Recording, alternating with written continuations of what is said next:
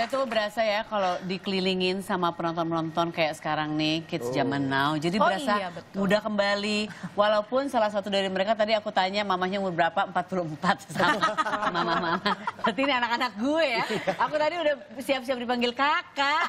Ternyata tante ya. Kante aja ya, kakak tante, kante, Kante, bahasa kante. baru. Ada ya. di tengah-tengah Ada ya. di tengah-tengah kan. Tapi ya kalau kita dengar sekarang itu kan lagi heboh banget dari kemarin sih tahun-tahun kemarin kata-kata kids zaman now. Zaman now ya. Ya, kids zaman now awalnya lucu, tapi ke sini ke sini kenapa kayaknya aku nggak tahu deh mungkin Mona bisa kasih ini s- apa pendapat yang berbeda. Kalau kita dengar kata-kata kids zaman now, seolah-olah it's not something positive gitu. Iya, iya. Seolah-olah sesuatu yang negatif. Bener nggak sih? Betul, langsung yang muncul di kepala orang eh, stigmanya negatif gitu. Terus Ya. banyak lagi tuh cap-cap negatifnya. Ada yang bilang generasi micin, generasi nunduk, generasi apa pokoknya semua Nunduk. nunduk. Oh, nunduk ini. Nunduk. Nunduknya bukan karena ya Bu, iya enggak, bukan, bukan. kan? Karena gini ya. Nunduknya gitu karena ya. gitu ya. Iya. Iya, iya. Gitu. Jadi padahal kalau kita ngomongin generasi atau kids zaman now, nggak semuanya gitu juga gitu loh.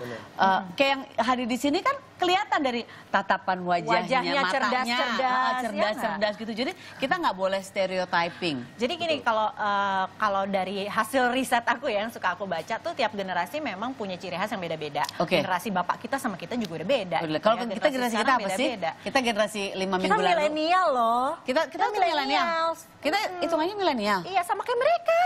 Kita masih. Kita halusinasi nggak sih? generasi. Kita lo gila. Ih beneran. Bukan udah kayak orang gila sekarang baru ngomong gitu. Eh, kita satu generasi anak loh kamu sama dedek-dedek eh, cantik ini nih. Kita satu generasi kita. Ah, Iya betul. Kita millennials teh. Kita tuh milenial. Masa sih? Aku millennials. Kamu mulai nggak sopan.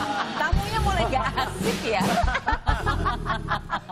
Tapi ya, kayak a- saya anak-anakku tuh kan umurnya 14 tahun. Berarti dia kan kids zaman now hitungannya gitu ya. Nah kadang-kadang aku juga cara menyikapi dia mungkin karena kita nggak bisa nyalahin juga. Bilang, itu gadget waktu ibu dulu, ibu nggak ibu nggak main gadget. Ya emang nggak ada gadget Gadget juga, juga, ya. ibu main karet Iya, ibu main. Ah, bener juga. Jadi kan kita nggak boleh apa apa bilang kayak gitu. Waktu dulu ibu-ibu nggak begini nggak begitu. Memang zamannya udah berubah gitu. Benar, tapi kan- ibu-ibu sekarang memang banyak banget yang pusing urusan anaknya dan gadget. Iya. Gadget sih sebenarnya satu hal yang positif ya. Kayak pisau Positif. aja deh. Pisau tuh ber- zaman langsung berubah begitu ada pisau gitu. Jadi Iya. jauh lebih mudah. Iya, tapi iya. kan bisa digunakan untuk yang positif, tapi bisa digunain juga untuk Bener yang banget. negatif. Tapi Gadget kadang-kadang sama. Aku juga seneng sih kalau dia pakai gadget untuk misalnya research atau apa. Tapi di saat misalnya kita lagi ngobrol dia ketawa terus dia ketawa gini, lol, aku kesel. Ya. Suka begitu juga ke orang tua anda? Kamu juga gitu? Oh kalau ke teman. Jadi kalau ngobrol sama teman, kalau ketawa kamu udah nggak ketawa gitu. lagi ya, udah Lol. lol. Lol, oh gitu ya.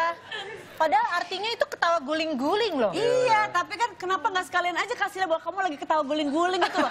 Menurut aku itu lebih natural daripada gini, abang gini gini gini. Ah ibu, lol. like, can we have a conversation please? Terus dia udah gitu. Atau abang gimana sekolah? B aja. Apa nih? Iya, iya. Basi, biasa, brutal, apa?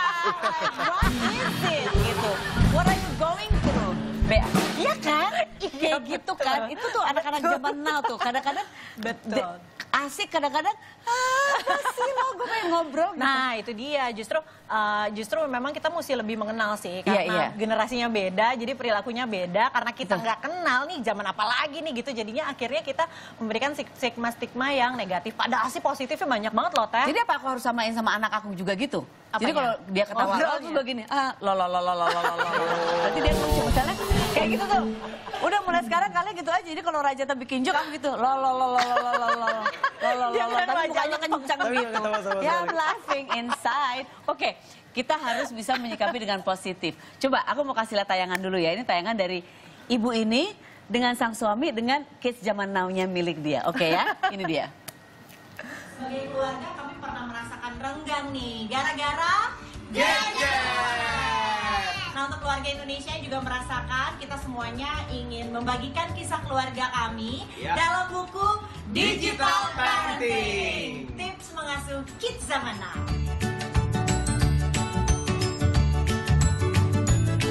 Jangan sampai ketinggalan untuk mendapatkan bukunya ya. Ya tunggu sebentar lagi ya.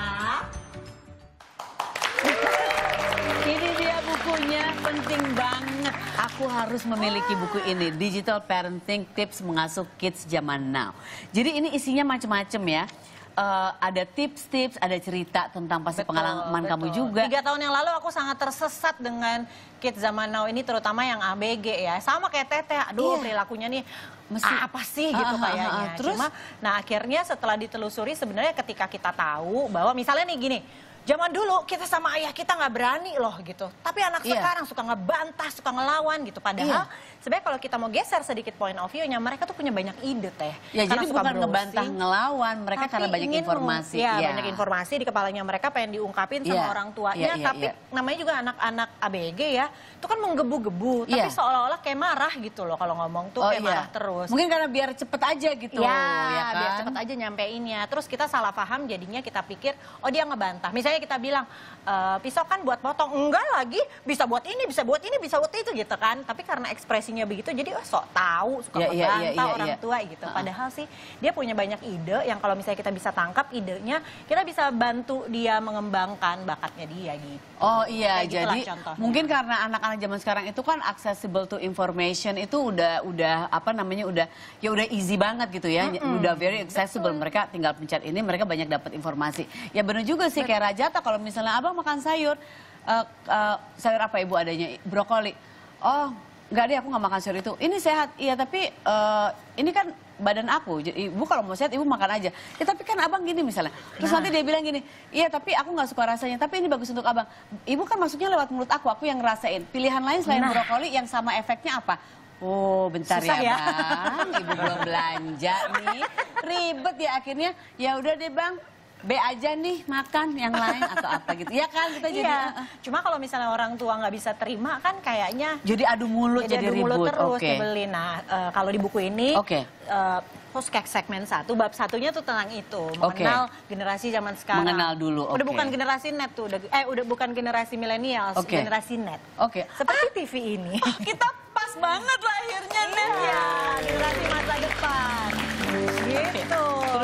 Terus, ada ada yang tentang gadget. Anak-anak Iya. tuh boleh nggak sih main gadget? Kalau main gadget tuh bolehnya berapa lama? Jadi kalau buat aku tuh gadget kayak vitamin. Kalau kita pakai berlebihan juga nggak bagus buat tubuh kita. Tapi Oke. kalau pas itu bagus banget bisa jadi booster gitu. Nah, eh, pasnya tuh seapa? Gimana cara mendampingi anak-anak supaya jadi generasi yang tangguh? Oh, aku suka banget. Ini, tuh, ini kayak buku gitu ini juga ada informasi-informasi seperti bagaimana caranya menghindar dari eh, hal-hal yang tidak baik di saat kita pakai gadget, efek-efek ke tubuh. Jadi di saat kita argue sama anak-anak untuk ibu-ibu yang lagi nonton atau bapak-bapak, di saat kita argue sama anak-anak, kamu jangan pakai gadget. Nggak cuma sembarangan karena kamu menghabiskan waktu kamu misalnya ngelihat update apa segala macam gitu, tapi juga ada efek untuk tubuhnya dan kita bisa Betul. argue karena anak-anak sekarang yang penting adalah kita kasih tahu alasan yang yang yang benar gitu jelas, loh, yang fak- yang factual bukan Iya. yang sekedar Ada banyak marah-marah istilah-istilah ya. baru ternyata yang mungkin orang tua juga perlu tahu kayak, Kayak ini apa, kayak apa? tech snack, Tech ada snack, oh ini. popcorn brain, macam-macam popcorn deh. brain? Iya. Oh ya? Karena overstimulated sama si gadget, Gadget, ada jadi- eh, namanya popcorn brain. Nah, semua dijelasin Oh deh di semuanya sini. supaya kita juga bisa ngejelasin ke anak-anak kita Betul, kenapa itu ya. betul. Soalnya kalau cuma nggak boleh, jangan gitu aja malah bikin dia jadi penasaran dan ah nggak apa-apa nih ibu nih nggak jelas banget gitu Iya, iya, kan. iya, aku sering banget gitu. Ibu nggak jelas banget. Bang, gimana guru yang itu di sekolah nggak tahu nggak jelas. Bang, gimana itu cewek itu cantik kayaknya iya tapi nggak jelas. Bang, blur ya bang semuanya. It's like nggak jelas gitu. Nggak jelas. It's a, itu itu salah satu kata-kata favorit anak ya. Nggak jelas ya. Nggak jelas Padahal banget. menurut kita lol B aja kali nggak jelas. Bisa didapat di Cocok mana nih? Teteh, lo Si- bergaul sama anak-anak yang Aku banget, aku iya cocok banget. Ini bisa dapat di mana sekarang udah di mana Oh aja di nih? toko buku ada, Oke. bisa dibeli secara online juga kan ibu-ibu zaman now sekarang oh iya, apa-apa belanjanya online, ya. Oke deh. ya wes deh kalau gitu kita ngobrol lagi abis ini. Nah ini khusus untuk yang zaman now suka banyak masalah. Abis ini kita ada sesi curhat ya. Yeay. Jangan ke mana-mana. TDSA. Tetap di sini aja, ya kan? Ya. Saat itu kami hanya saling berpandang Terdiam terpandang